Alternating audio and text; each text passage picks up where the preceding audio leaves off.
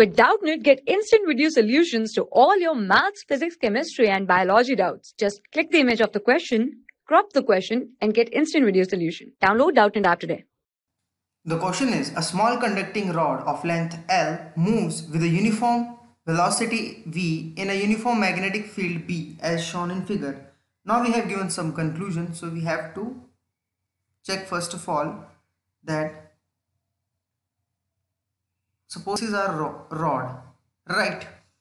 And it is moving with velocity v right? This is x axis this is y point not x axis x point and y point. If rod is moving with the velocity of v there will be magnetic field which also move along the rod right? And uh, magnetic field will be invert the plane right? Again i'm saying that if xy rod moving then along with the charge will also move right? So we can say that frequency not frequency sorry force f is equal to q into v dash into b dash right?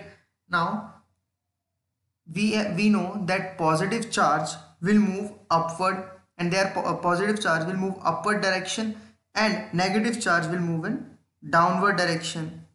है ना and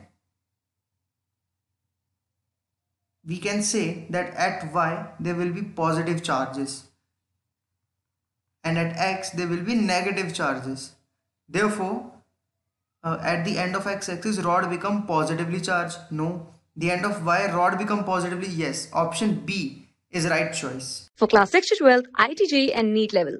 Trusted by more than 5 crore students. Download Doubtnut app today.